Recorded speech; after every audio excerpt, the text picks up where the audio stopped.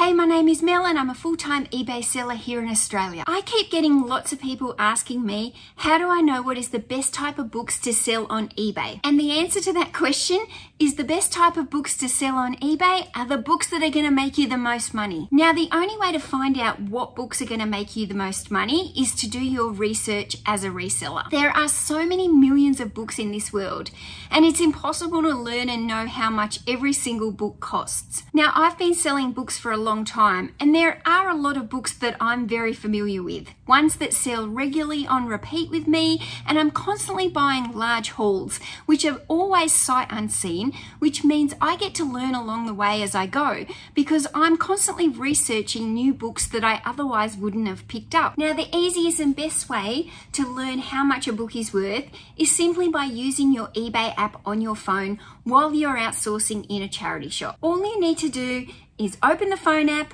type in the name of the book that's there on the shelf for sale, and have a look what it's selling for. I think it's really important to look at the completed sales because what a book is selling for can often be quite different to what a book is listed for. Now, one thing I've also noticed is a lot of resellers tell me that they're actually uncomfortable pulling out their eBay app inside a charity shop and openly comping these books or clothing or whatever it is you sell. People are actually uncomfortable to do that in public inside a charity shop. I don't think you need to be worried about that. I think that the charity shops are used to it and I don't ever feel uncomfortable now pulling out my phone and running completed sales while I'm in store. But if you are somebody who is uncomfortable doing that, I've got a solution for you. Today I'm going to take you for a ride down to the local library that I've got here. And if you want to learn about books and if you want to do some research and really have a look at how much some books are selling for,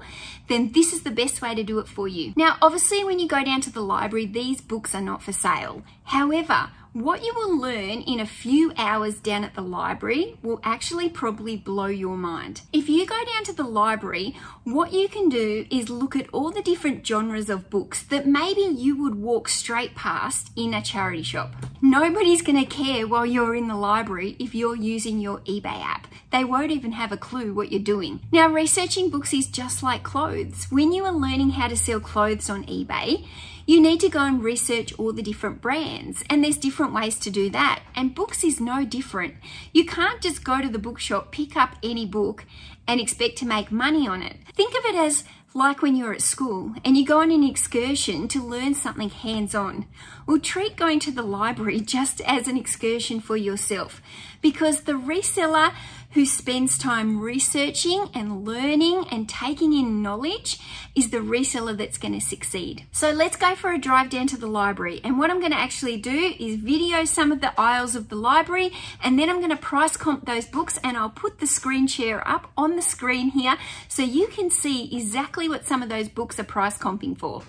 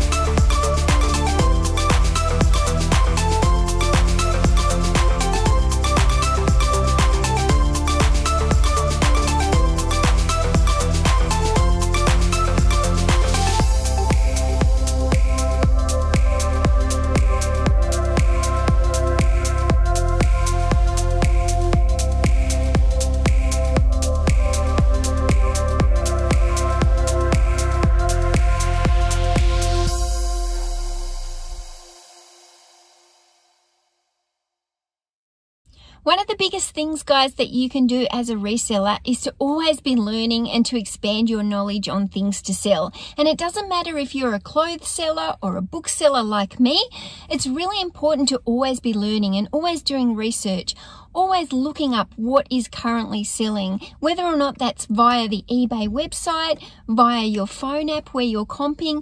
Anything that you can do to gain knowledge will help you become a better reseller. So even just going into that library, I learned a lot for myself because when I go out cherry picking, I'm often scanning with my eyes and looking for books that are familiar to me, books that I've already sold before, and books that I think might be worth money. But there's so many books around that I just wouldn't even look twice at in a charity shop and they are really worth a lot of money. As you can see, there's no real quick fix, easy answer into what is the best book to sell on eBay or the best genre. There's millions of millions of books out there and some of them are just worth so much money, it's crazy. However, you need to do your own research and it comes down a lot to trial and error. Sometimes you're going to go and buy books and you're going to try and sell them and they're just not going to sell. The same thing happens to me sometimes. I've got books listed there that haven't sold. It happens to everyone. It's the same if we're a clothes seller. We often buy clothes, they don't sell. It's just part of the game. But the best chances you've got is by doing your research and looking up the completed sales on the eBay app to tell you exactly what has been sold in the last 90 days the more you research, the more you learn. And then the more you'll retain that knowledge. And then next time you go out to the charity shops, you might spot one of those books that you've actually researched before and go, hey, I remember that book. That was worth quite a lot of money. You'll run the comps again and it'll give you the actual cost and you'll go, yes, I remembered that. That was a good one. I'm going to buy it. Because knowledge is key, if you'd like to watch one of my other videos which shows how much I sold some of my books for, just click this little link here and it will take you through to learn more.